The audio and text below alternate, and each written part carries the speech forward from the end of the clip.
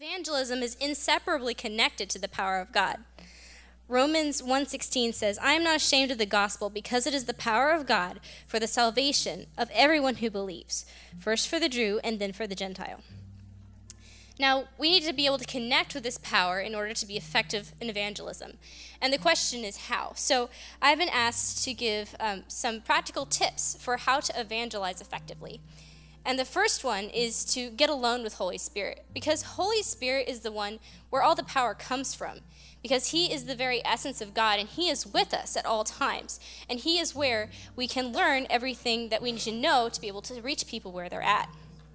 Isaiah 54 5 says, For your Maker is your husband, the Lord Almighty is his name, the Holy One of Israel is your Redeemer. He is called the God of all the earth.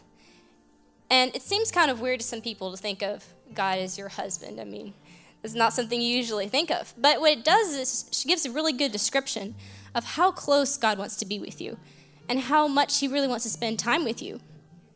And so if you take that time, it will definitely pay off. Just like spending time with someone you care about always pays off. Um, when you spend time with Holy Spirit, you become in tune with His thoughts and His desires since He knows everything, and you can meet people exactly how they need to be met. And the second tip I have for you is to know God is with you. Um, Isaiah 57 says, quote, Because the sovereign Lord helps me, I will not be disgraced. Therefore I have set my face like flint, and I know I will not be put to shame.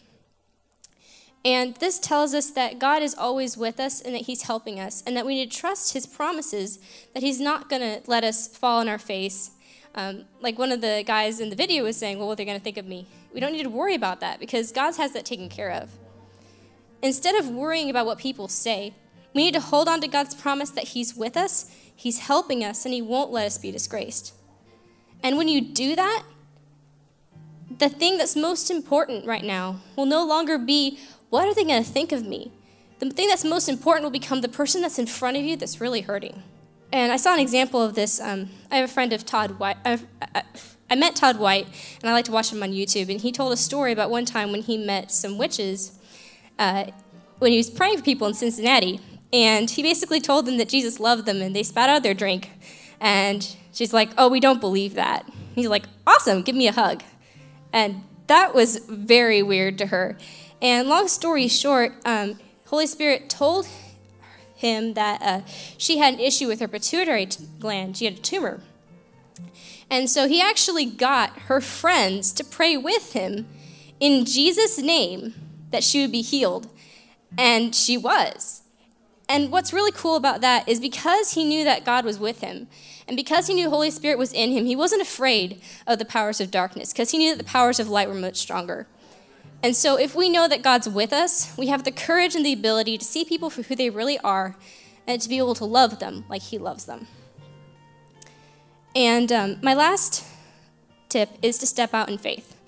Um, how many people have taken a cup and gone to the sink and then asked the faucet for some water?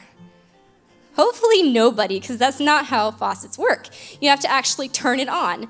The water's always there, but if you turn it on, then the water will come out. That's kind of how power works with Holy Spirit. If you can pray for power all you want, but you need to actually turn on the faucet, which is stepping out in faith, giving Him an opportunity to flow through your life.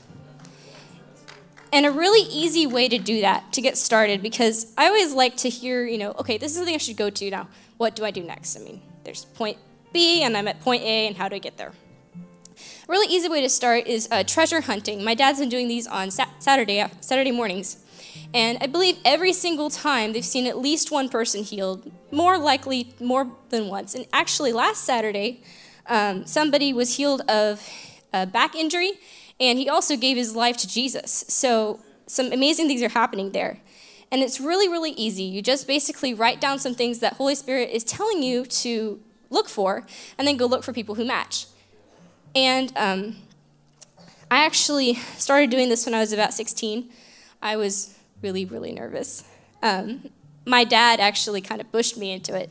And we went to a Verizon store because my friends needed uh, his phone to be checked out. And we ended up meeting this guy. He was talking about how he had been in Iraq and his knee had been blown out, his back had been blown out, and his neck and his memory.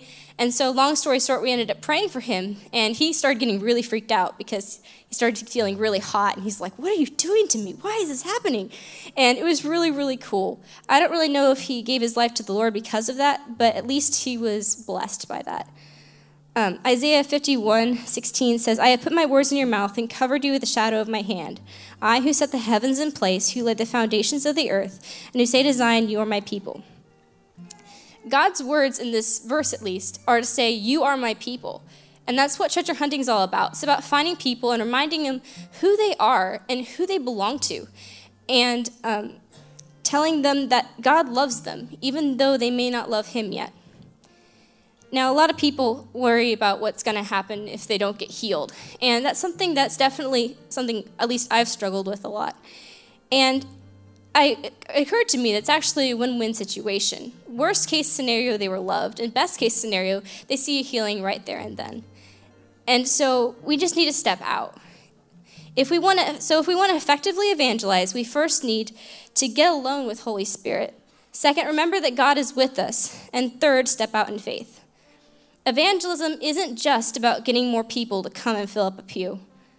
It's about giving people an encounter with God that they will never forget. And the coolest part is that that encounter can be through you. All you have to do is say yes. So, what are you going to say? Thank you.